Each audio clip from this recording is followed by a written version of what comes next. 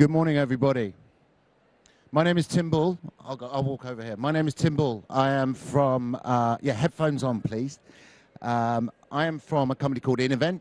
We are an all-in-one event management platform. We are hosting this stage. Uh, we have a little booth next door. You're more than welcome to come and talk to us after we've got some giveaways and things, um, talk to you about your events and what we might be able to do for you. But today, we have a, a packed session of events today and sessions. Uh, first of all, I'd like to introduce a very good friend of mine, Mr. Mike Burns um, from vFairs. Uh, so a little bit of intro, intro for this event uh, this session. So one size doesn't fit all. When it comes to events, businesses now require bespoke solutions to help them hit their event goals, especially when hosting multiple types and sizes throughout the year. Modular tech is the solution. So we have here uh, vFairs CRO, Mr. Michael Burns. He's going to discuss how modular event technology has become table stakes for organizations who need events to align precisely with their brand and message. So Mike's going to walk through some examples of modular tech and customization tools, etc., etc. So I won't use up any more of his time. I will hand you over to Mike. I would just like to bring your attention to this QR code for uh, Pigeonhole. This is where you can post questions, and I will see you when Mike's finished speaking, and we'll go through some of those questions and uh, deal with them then. So over to Mike. Good luck, Mike. Thanks. Thanks, Tim. How's everybody this morning? Good? Uh, hopefully, uh, uh, there was some fun had last night after day one of Event Tech, but not so much fun that you guys fall asleep during my session. Uh, so that that you know, perfect middle zone is what we're looking for. Uh, so as Tim said, I'm Michael Burns. I'm Chief Revenue Officer at vFairs. Um, I'll talk a little bit about my background in a couple of slides, but I, I do want to start off with a quick informal poll. Um, how many events do we do each year individually? Between one and five, show of hands. Five to 10, show of hands. 10 to 50, show of hands. 50 plus, show of hands. Okay. Uh, and of those events, what percentage requires the exact same tech stack? Same reg module, same landing page, same workflow, same mobile app. Can you rinse and repeat on pretty much, yeah? 10% of them, rinse and repeat. 50% of them, rinse and repeat. Yeah, that's great. Save, save money, right? Uh, less than 5% rinse and repeat. Some pretty unique, you know, events. Yeah, and that's what we're going to talk about today, uh, is the fact that, you know, different events require a different approach. Uh, one size does not fit all. And I think over the past 20 years in this industry, what the, the event tech trend has been is trying to have – uh, a, panacea tech solution, right? You know, the one platform that rules them all, right? A self-serve, easy to use back end. Uh, and I, I, think that's an admirable goal that we had as an, uh, as a, uh, an industry. Um, but what we're seeing is that it never really lived up to the promise, right? Uh, events are still unique beasts, and we need to treat them as such. So, a little bit about me uh, and my background. Uh, so, I've been I need to update the bio. It's been closer to 20 years that I've been in the event technology space. Uh, I started on the planner side, uh, working for a uh, PCO, a professional conference organizer, uh, doing B2B uh, one-to-one meeting focused events. And then I had my own company, my own PCO, where we did um, about 15 B2B events annually. and I did that for six or seven years. And then I got into the tech side, went to the, the, the dark side, as, as some might say, uh, and spent some time at, at uh, a platform company pr- uh, prior to the pandemic. Uh, and then uh, over the past year, I've rejoined the event technology space as CRO of vFairs. Uh, so I, I, have, I think, a bit of a unique perspective. I think most, you know, event tech executives probably haven't been true planners or organizers, and having that perspective and understanding of the, the day-to-day realities that you know we as planners face I think has really informed our, our corporate strategy and, and indeed, you know, my uh, uh, motion from a go-to-market standpoint. Uh, so about vFairs, uh, so we're uh, an end-to-end event technology platform. You guys have probably heard that from 15 or 20 different uh, booths over the past day or so. our history is a little bit unique, though. So vFairs started in 2014, and what vFairs stands for is Virtual Career Fairs. So we were doing virtual events before virtual events were kind of a thing. Uh, and we were a nice little company. We were growing, uh, doing you know career fairs for some pretty big brands globally, Nestle and, and organizations like that. And then the pandemic hit, and we were really well positioned to take advantage of the new reality of virtual events. Uh, so our, our revenue spiked, our customer count spiked. You know, we had, uh, I don't know, 60% of the Fortune 1000 that were customers of ours.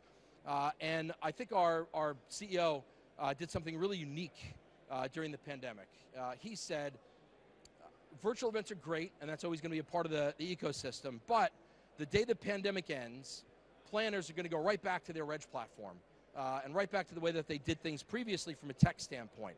So what we did during the pandemic is took you know the, the good fortune that we had of being able to you know understand the market uh, and make some choices as to our roadmap and development, and we decided to build a proper from the ground up end-to-end event platform. Uh, so so that's what we set out to do. And we'll talk a little bit about why that's important, I think, and why that's really informed our, uh, our decisions moving forward and some of the feedback that we're getting from customers. Um, but yeah, so we, we have a bit of a unique take on the industry. Uh, I will say as well, uh, one of the reasons that I joined vFairs is that our CEO is also a planner. So he was planning career fairs and job fairs. Uh, so he understands, again, you know, in intimately the challenges that, that we all face. Uh, a little bit of the numbers uh, on us. So uh, we are a global organization. Um, uh, I think 50 million plus attendees served, uh, I think is an important statistic. So we, we have a lot of data. Uh, we're able to really understand customer sentiment because of the scale that we have as an organization. So I'll talk a little bit about segmentation. And, and, and this is the way that I, I kind of look at customizable event technology. Uh, historically, we've looked at really two different axes of segmentation of events. Uh, one is the event type, right? What are you doing? You're doing conferences, you're doing trade shows, hiring events, etc. Uh, and technology was it was built with that use case in mind, right? Of okay, you're a conference, you need a conference type app, right? You're a hiring fair, you need a hiring fair type registration workflow, and that that's good. I think that's kind of version 1.0. Uh, I think over the past you know several years, we also started thinking about segmentation in terms of the mode of delivery right? Is it a virtual event? Is it a hybrid event? Is it an in-person event? Um, and that, that kind of informed strategy and, and tech roadmaps uh, over the past couple of years, right? How do we tweak the features on you know, a virtual delivery model? Uh, so, so those are interesting things to, to segment off of, and I think there's value there, and I think that's what a lot of you know, the historical kind of legacy approach to developing technology has been, right? Let's try to build modules that you could plug and play. However, I think things have changed a bit, and, and what technologists uh, are really recognizing, uh, and you know, hopefully that this is uh, what you guys are seeing, you know, kind of in the seat as well, is that there's different segmentation that's really important for us to deliver uh, an excellent event experience. Uh, and that segmentation, first and foremost, tracks to business goals, right? So what are we trying to achieve with the event? Uh, and and I, there's a marketing concept called jobs to be done, right? Which uh, is all about saying, let's understand what the customer, what the persona is trying to achieve, right? What are their goals? How are they measured, right? How are they going to hit their bonus, you know, quite literally? Uh, and then let's build solutions and technology that can help them do that. So when we look at the, the very various business goals that we have as event organizers, you know, they're, they're disparate. They're sometimes conflicting. Uh, and they certainly require a, a bespoke approach uh, to your planning process, your execution process, and your technology. Right. So some of the, the, the big things that we see, you know, revenue clearly. How many people do revenue producing events? Is that a, a pretty common use case? Uh, thought leadership, right? Getting the word out there. Maybe academic conferences, right? Um, and there's some similarities in terms of planning. Of course, you got to pick a venue, right? But you know, very, very different execution right, for those types of, um, and, and they could both be conferences, right? They could both be the same event type, but because your goals are different, it, it takes a very different form. Um, brand awareness, lead generation, you know, again, usually get lumped in into event type, right? But they're very different uh, outcomes that you're looking to drive. Uh, and then some of the things that we see now, you know, social causes, right? Uh, a little, a little bit of a plug. We won the Sustainability Award last night at the Event Tech Awards. Uh, so social causes, social responsibility, sustainability are really important. And that goal is sometimes at odds with things like revenue generation, right? So how do you square those things up? Uh, I think the other segmentation piece, which, which we've seen typically, uh, is in terms of event size. right? And and usually, in my experience, kind of the legacy thinking around uh, uh, event size is okay. If you have a small meeting, you use kind of a you know a free or you know low lift reg platform. Uh, if you're doing you know the mid-size events, kind of that middle of the bell curve, then your typical self-serve platform will, will you know handle things. But if we're doing large events, what we're calling extravaganzas, uh, you know, patent pending on, on the on the term, uh, then you know I need to go out and find a custom provider that's going to build something for me from scratch, right? And there are issues with that uh, that we'll talk about. And then one of the other things that we've seen, right, uh, with our, our history as a, a virtual platform moving into the in-person arena is networking needs, right? So, you know, how do we take advantage of the promise that virtual gave of extending reach uh, and deliver an experience uh, at a hybrid event that's truly um, uh, uh, meaningful, right, for attendees that are attending hybrid or in person. And I'll give an example of this uh, towards the end. Um, yeah, so, so this, in our mind, is the new segmentation, right? And this isn't just about go to market and how we're going to go message our product. This is what's informing our roadmap. Uh, and I, I, think in talking to you know my peers uh, at other organizations, this type of thinking is really you know what's coming to the fore, right? Uh, we spend a lot of time at vFairs talking to our customers. We just had our, our customer summit uh, a couple of weeks ago. Uh, and, and these types of conversations centered around business goals, right, and how we can help them achieve, you know, not just, you know, excellent execution and good attendee satisfaction and cut down hours on their planning process, but you know, how are we truly achieving their individual goals with technology uh, has been, you know, really at the forefront of, of our minds. So, yeah, the old way was, you know, let's let's build something, you know, really out of the box or in the box, I suppose, off the shelf uh, that tries to take advantage of and really take care of as many events as we possibly can, right? Which means it's, you know, the technology is 80% good enough for 80% of my events, right? And that, that's that's not bad, right? That's not a bad approach. The new way though is I want to be 100% right for 100% of my events. Uh, and again, typically what that required was multiple providers, right? Uh, multiple tech vendors, uh, probably some, you know, some long hours uh, from you guys, uh, tweaking things, doing builds, right? You know, trying to figure out how to do a custom landing page, right? Getting with your marketing team, hiring developers, right? A massive lift, right? And that, that really uh, was a disservice to the planner from the event technology community because, you know, we weren't really focusing on the true needs, right? Not, not just the needs of the attendees, but the needs of the planners as well. Make sense? Yeah. So when we think about what needs to happen uh, at vFairs, and, and again, hopefully this is something that we'll see, you know, uh, being adopted across the rest of the ecosystem, is not just modular. We've always had modular event tech, right? Use the Reg module, right? Use the marketing module. Uh, but modular and customizable event technology. Uh, as I mentioned before, I think one of the things that uh, that I love about vFairs is that we built all our own tech, right? We didn't go out and acquire a bunch of companies uh, where we're trying to, you know, mash technology together and make it work uh, and focusing our time on integrating, you know, the stuff that we bought. We built everything from scratch, which means that we have the code. We could surface the code uh, and we could code for our customers. Uh, so when we think about modular tech, uh, we think about it first and foremost saying, okay, what, what aspect of the planning process or execution process are we directing a solution towards, right? Is it pre-reg, is it marketing? Uh, and, and how can we truly customize this uh, for the need, the job to be done uh, for the, the organization, right? So the big, the big shift that we think that the industry is going to take is less cookie cutter, self-service back end and more, here's a platform that's, you know, that's 80% good for 80% of your events, but then we'll customize to make sure that we have 100% fit for 100% of your events, right? Which means that you'll see, I think, some consolidation in the industry as well, right? Uh, as you know, people with kind of the you know that, that legacy approach of, of you know acquiring technology and companies, trying to integrate them. I think that'll be phase one of this move to customization. Uh, I think phase two will be uh, what you know what we're doing at vFairs, which is actually building from the ground up on one data layer. Hmm, did I skip? Yeah.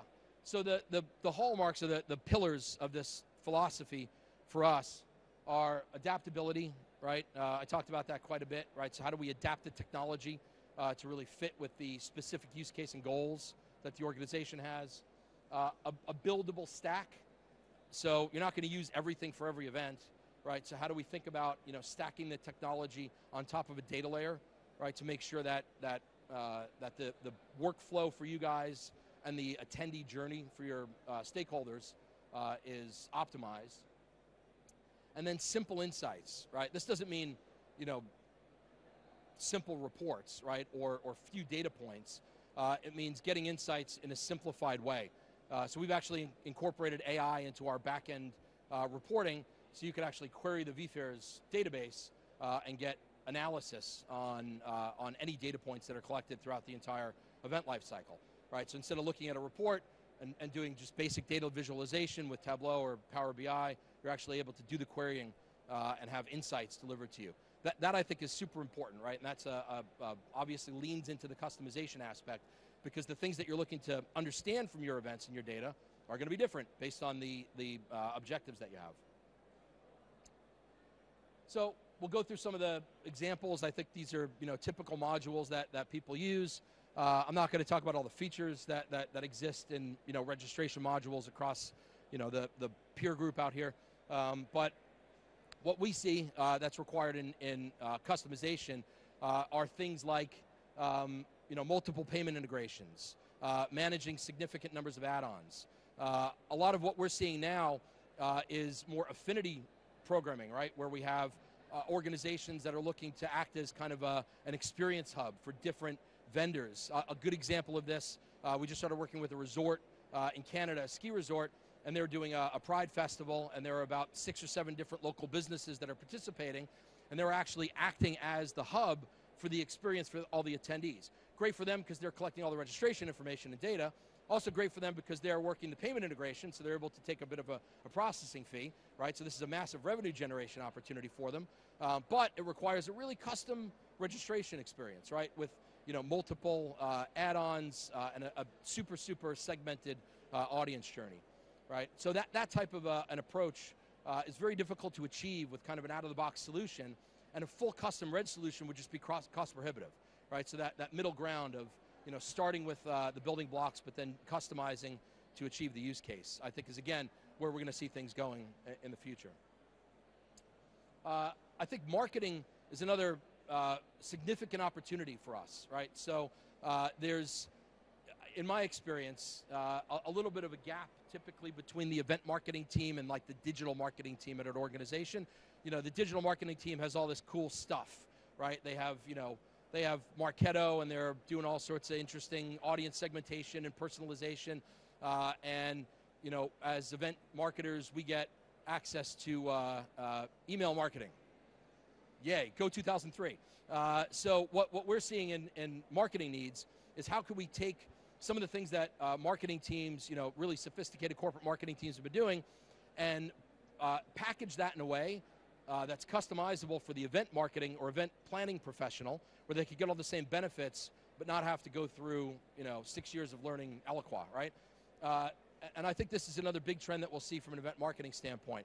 Uh, so what what we've done in our platform, uh, and again, it's all built on one data layer, so it's easy to do, uh, is we give people the opportunity to build audience segments. You could you could do micro segments, right, based on attendee types or demographic filters, uh, and then we've used AI uh, to give marketers, event marketers, the ability to build uh, customized email and social campaigns based on those audience segments. So what we're seeing now is instead of you know a, a general update email going out or you forgot to register email going out, we're seeing a sequence of three to five emails, very very hyper targeted to a specific segment of the audience that are going out, uh, aligned with social, which can be done right in our platform uh, and what we're seeing is massive increase in conversions, right?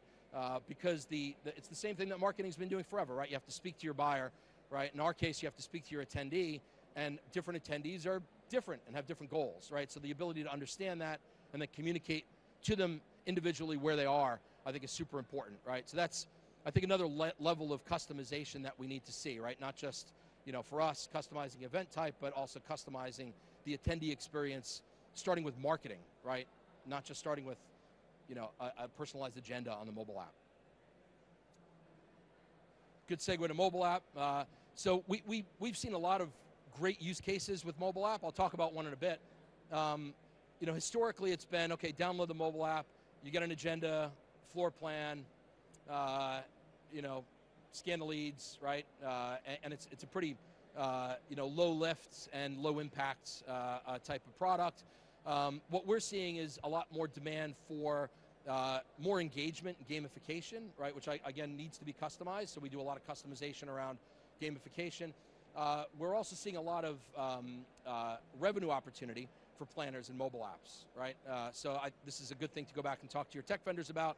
Uh, is you know things like you know splash ads on the mobile app, uh, you know advertising inventory, different ways that sponsors or exhibitors can monetize things like a scavenger hunt, right? The old passport stamp the card, right? You could do that, you know, pretty easily uh, virtually on a mobile app, right? So thinking a bit more laterally about not just attendee engagement, but also revenue generation from mobile app is something that we're seeing a lot, right?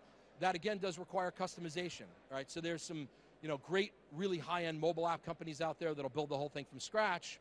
Uh, you know, our approach, which is where again I think the industry is going from a mobile app standpoint, is okay. 80% of for 80% of your events, but we'll customize it to get to 100%, right? Let's really understand the goals, and then let's go in the back end and code with you, right? As opposed to, you know, just try to figure out the right tiles, right? Um, uh, so that, that, again, bespoke approach, uh, I think is something that, you know, we're going to see happen more and more on the mobile app as well. Uh, badge printing and check-in. So th this is an area that I, I think is, you know, it's pretty, you know, obviously it's table stakes. It's been really commoditized over the years, right? You know, print badges, easy, right? Check in, easy. I think that the interesting thing, though, that, that I'm seeing and we're seeing out in the market uh, that really aligns to customization uh, goes back to the data layer, right? So, you know, typically organizations will have, you know, disparate providers that are doing, you know, the badge printing, the on-site solutions, which makes sense, different specializations. Uh, but the key is really making sure that the data from the on-site flows back in to your registration data, right? And maybe into your CRM or whatever your source of truth is. Uh, because when people register, I know I do, I'm guilty of this. You know, if it asks what I'm interested in, yeah, I'm interested in that, click that, click that, yeah, I'll go see that guy. And then I get down to the, the event and things change, right? I'm a little bit less interested in that, right? I actually go to that event instead or that speech, right? Um, so looking at what's happening from a session scanning standpoint, being able to understand the delta between, you know, self-reported interests or predilections during the registration process and what happens on the ground could help inform you know, our, our approach moving forward. Uh, again, with, uh, uh, let's say, check-in, the, the, example that I use often, uh, it's a real-life one, uh, is you know, if somebody's dietary requirements change from when they're doing pre-reg to when they check in, right? Someone checks in and says, I am now gluten-free, right? And you might be able to collect that on, on check-in, right? And hopefully you're communicating that to your F&B vendors right? But having that data flow right back into your reg data, so that way, you know, you're able to, to pre-populate that information for the next event if that attendee is a return attendee is super important, right? And that requires, you know, either a level of customization in terms of data flow, right, or, you know, again, a single platform approach. Uh, yeah, I, I, would be remiss if I didn't talk about virtual events. I, I think this is another area that, that, that customization and collaboration piece is really important. Um, I think what, what I'm seeing a lot now uh, is kind of companies just kind of stamping on a bit of a hybrid thing on top of their in-person event or streaming, right? So it's almost like getting back to what used to be kind of virtual back in 2019, right? Um, the and I'll, I'll, talk about networking. I think it's uh, analytics and reporting. I skip networking. Go back. Go back. So I, I think that the key thing here is having a disjointed experience is bad, right? Uh, so having a, a great in-person experience and then kind of simulcasting is just, you know, really not fantastic, right? You could get content out, right, but from an attendee experience, you know, it's not really what you want to uh, uh, deliver uh, to deliver a rich, you know, hybrid experience. So stitching together the in-person, the online, and the offline uh, with networking opportunities that could go across both, uh, we found is, is really important, right? And I, I think this is where you know people are going with metaverse, right, and super immersive virtual technology, which we're doing a lot of, of work on right now. Uh, but really stitching it together is important, right? So, you know, how could I network? You know, I'm here. How could I network with a virtual attendee in a way that's authentic, right? Um, so, looking at that online-offline experience is super important. I think from a data standpoint, it's also important, right? So, how do we marry up uh, the, you know, the, the amazing data that we used to get with virtual events, right? You know what every click is uh, with you know session scanning and footfall data from the events, right? Uh, and having one you know data visualization is important, right? Because those are similar data points, uh, but you, it requires a little bit of manipulation if you're using multiple vendors uh, to, to really understand that, right? So again, requires I think customization to understand what the attendee journey looks like, you know, how it's different and how it's the same across the different modes of delivery. Uh, we talked a lot about analytics and, uh, and reporting, right? I, I, think the big thing here is, you know, what our focus is, is using AI to, to get first level uh, analysis off the data, uh, which is wh where I think things are going to be going. And th that, by its nature, is going to be customized, right? If you're querying a database using ChatGPT, right? That's, again, not a canned report, right? That's something that's super custom and bespoke. Uh, yeah, and I'll talk about a case study before we wrap and, and see if there are any questions. Uh, so one of our customers, JVS Toronto, uh, I think we first started working with them during the pandemic. We were doing virtual career fairs, uh, and then they went to a hybrid approach.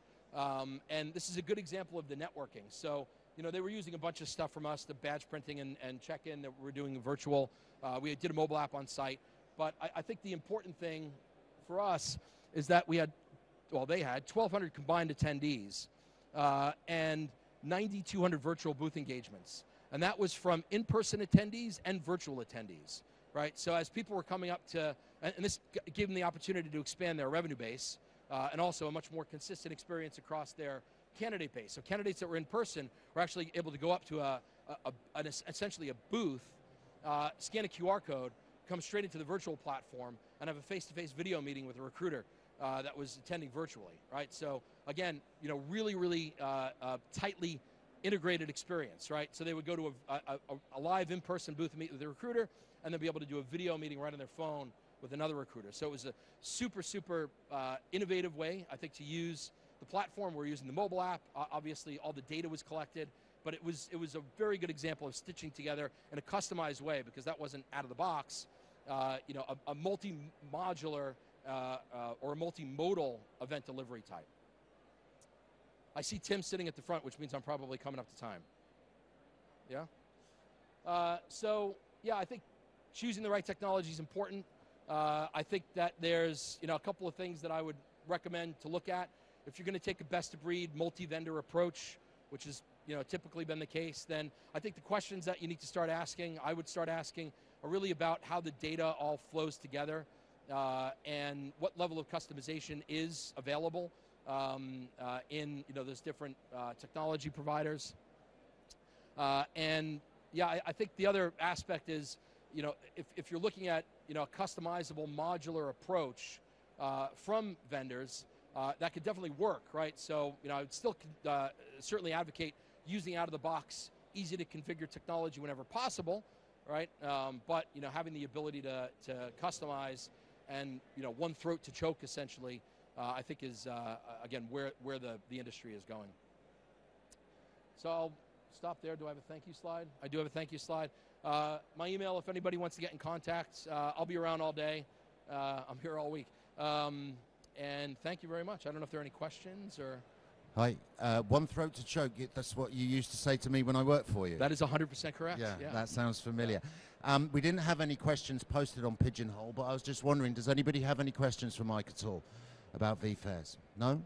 Okay. That means Mike, I was completely comprehensive. You were excellent. Yeah, thank you, sir. Thank you so much for your time. Thank Thanks, you for everybody. that session.